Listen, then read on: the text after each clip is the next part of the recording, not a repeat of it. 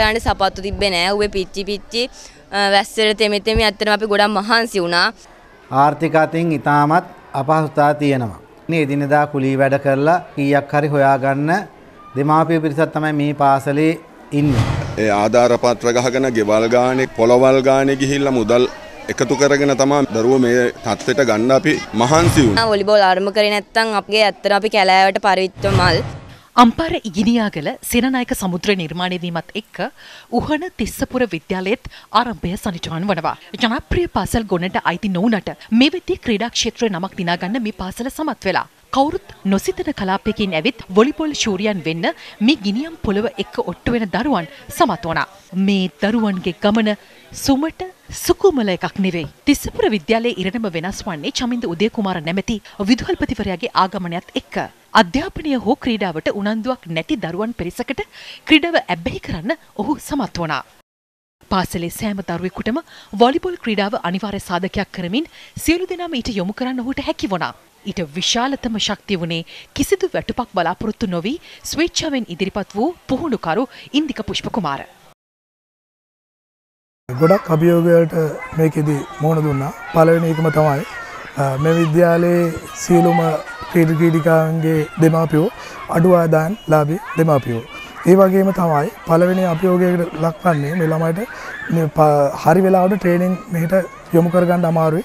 අලි ප්‍රශ්නය තමයි ගොඩක්ම තියෙන්නේ. සමහරක් ළමයි පුහුණුවම් කරගෙන යනකොට යම් තැන්වලදී කලන්තේ කියලා වාඩි වෙනවා. වාඩිලා ළමයාගෙන් ප්‍රශ්න කළා ආපම කණ්ඩ නැහැ. මෙහෙම සර් කියලා කියනවා. සමහරක් ළමයි ඉන්නවා කණ්ඩ නැතත් වොලිබෝල් ක්‍රීඩාව එයාගේ අවංකවම එයා කරනවා. ඉතින් ඒ ළමයි වෙනුවෙන් අපි ඒ වෙලාවට පුළුවන් හැකි ඉක්මනේ අපි යෝගට් එකක් අරගෙන දීලා පොඩ්ඩක් රෙස්ට් කරවලා ආපහු නැවත අපිට පුළුවන් විදිහට පුහුණුවම් ලබා ගන්නවා. මේ තිස්සපුර විද්‍යාලයේ හොඳ මේ ජාතික මට්ටමේ දක්වා යන්න පුළුවන් ක්‍රීඩ ක්‍රීඩිකාව රැසක් මේ ඉස්කෝලේ බිහි කරන්න පුළුවන්. මේ මේ ගම්බද ඉස්කෝලයක් මේකේ ශක්තිය හොඳට තියෙන ළමයි ඉන්නේ. මේ ළමයිට තව පෝෂණය දීලා කවුරු හරි මේකට රුකුලක් වෙනවා නම් මේ ළමයි ජාතික තලයේ ජාත්‍යන්තරයේ දක්වා රැගෙන යන්න ගොඩක් පහසුයි. දෙදස් පහළේ වර්ෂයේ තමයි වොලිබෝල් ක්‍රීඩාව ආරම්භ කරලා තියෙන්නේ. ඊට පස්සේ ක්‍රමක්‍රමයෙන් දෙදස් දාසය දාහත දහාට දහනමය යන වර්ෂවල මේ දරුව පුහුණු කරලා ඒ ඉන්දික හොයාගෙන ගිහිල්ලා හිටපු විදුහල්පතිතුමා ඒ ඉන්දිකත් එක්ක සාකච්ඡා කරලා තමයි මේ වොලිබෝල් ක්‍රීඩාව මේ දරුවන්ට ආරම්භ කරලා තියෙන්නේ. ඒ ආරම්භ කිරීමත් සමග එක දිගට වර්ෂ කීපයක්ම DSI සුපර් ස්පෝර්ට් තරඟාවලියේ ජයග්‍රහණ ලබාගෙන තියෙනවා. මේ ගමන ගිහිලා තියෙන ඉතාමත් දුෂ්කරතා මැද්දේ. මොකද හේතුව මේ දරුවන්ගේ දෙමාපියන්ට ආර්ථික අතින් ඉතාමත් අපහසුතා තියෙනවා. මේ එදිනෙදා කුලී වැඩ කරලා කීයක් හරි හොයාගන්න දෙමාපිය පිරිසක් තමයි මේ පාසලේ ඉන්නේ. අපට කොළඹ පැවැත්වෙන තරඟවලට යන්න බස් එකක් හොයාගන්න ඉතාමත් අපහසුයි. මේ දරුවෝ නොයෙක් දුෂ්කරතා මැද්දේ කැප වෙලා ඒ ඉන්දික පුහුණුකරුගේ උනන්දුව කැපවීම මත තමයි මේ ජයග්‍රහණය ලබා ගන්නට හැකියාව ලැබුණේ. ඒ තුලින් අපේ පාසල ශ්‍රී ලංකාවේ විතරක් නෙමෙයි ජාත්‍යන්තර තලයේත් වොලිබෝල් අතින් බැබලෙන පාසලක් බවට පත් කරන්නට මේ දරුවන්ට හැකියාව ලැබුණා.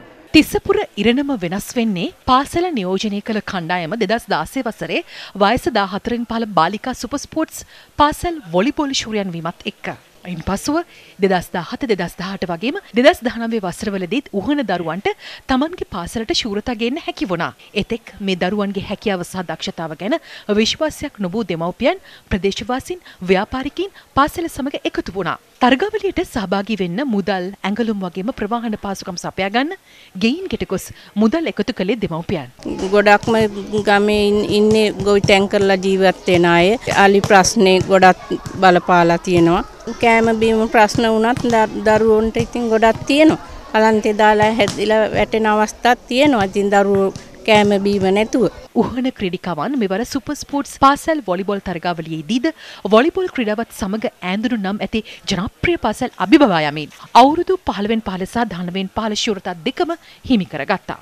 මෙහි විශේෂත්වය වන්නේ පාවහන් යුගලක් හෝ නොමැතිව දරිද්‍රතාව නිසාම කුසට හරිහැටි ආහාරක් නොමැතිව කාෂ්ඨක පොළොව එක්ක ඔට්ටු වෙන දරුවන් පිරිසකගේ හපන්කමක් නිසයි.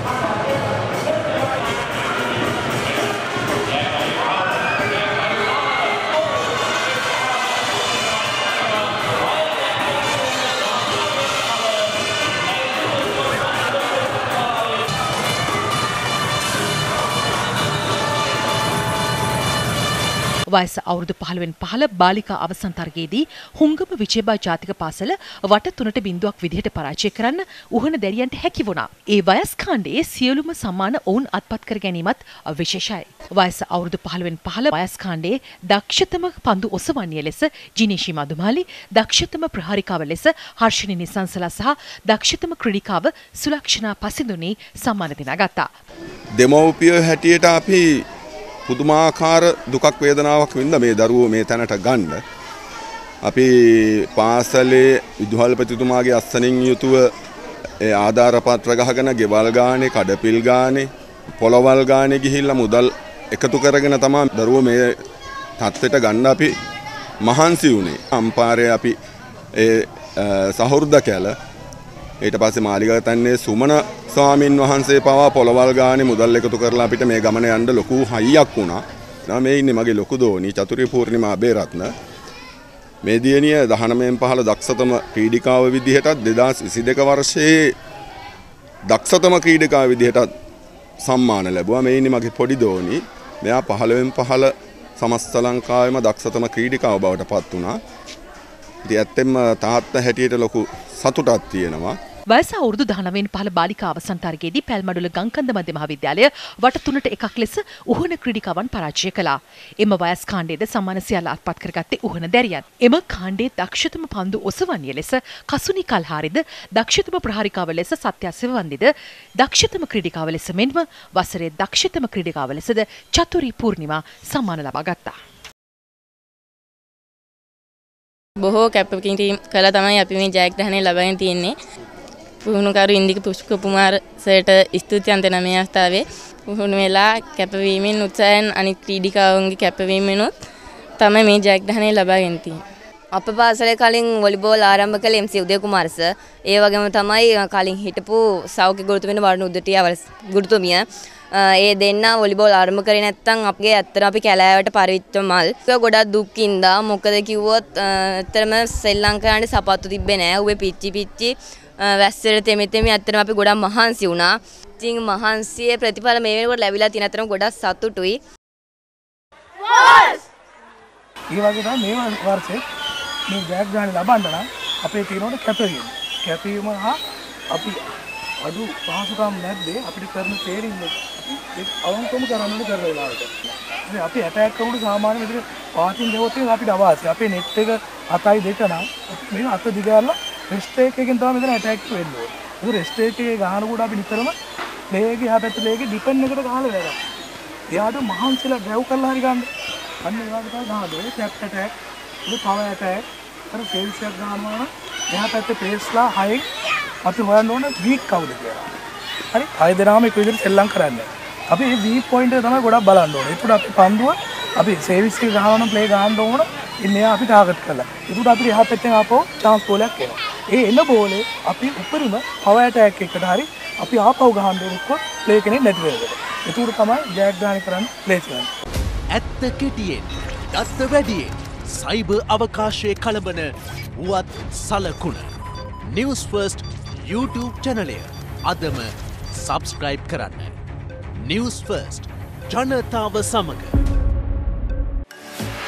නිවස් ෆර්ස්ට් නිවස් ඇලට් ඔබේ ජංගම දුරකතනයටත් ඔබ ඩයිලු පාරිභෝගිකයෙක් නම් ඉංගලිෂ් ඇලට් සේවාව ලබා ගැනීමට NFU ලෙසත් සිංගලිෂ් ඇලට් සේවාව ලබා ගැනීමට NUS ලෙසත් ටැන්ගලිෂ් ඇලට් සේවාව ලබා ගැනීමට NAT ලෙසත් ටයිප් කර අයිසි හැත්තෑ අටට සෙන් කරන්න.